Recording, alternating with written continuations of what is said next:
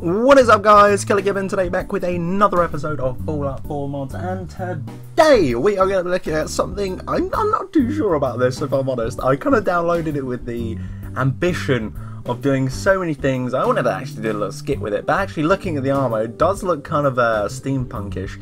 It is the Batman armor within Fallout 4. I was very, I'm as hesitant as you are. If you've seen the thumbnail as well, uh, that took a little bit of time, but it is freaking awesome, I'm not gonna lie, and that's uh, pretty much what I wanted to go for.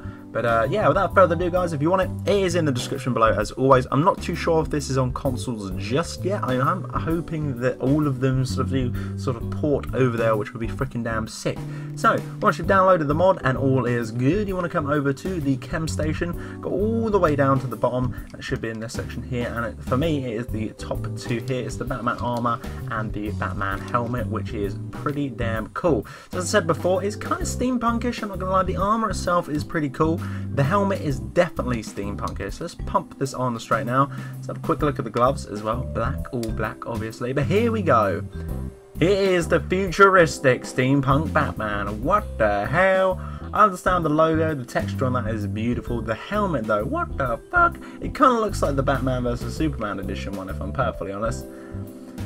When he sort of gets his um, fully decked out kryptonite suit. But uh, yeah, this is pretty much it. I'm not gonna lie. It does look pretty cool. I'm not too sure what you do this as well. There is actually a Joker outfit or and a Joker save within there. So if you wanted to do sort of like a mini skit or skits in general, this uh, this armor would be pretty damn cool. I'm actually gonna go to TFC one.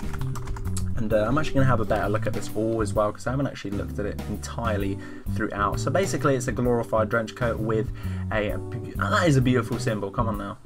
Uh, well played on that symbol. The lighting and the detail and the textures all rolling together beautifully on that one.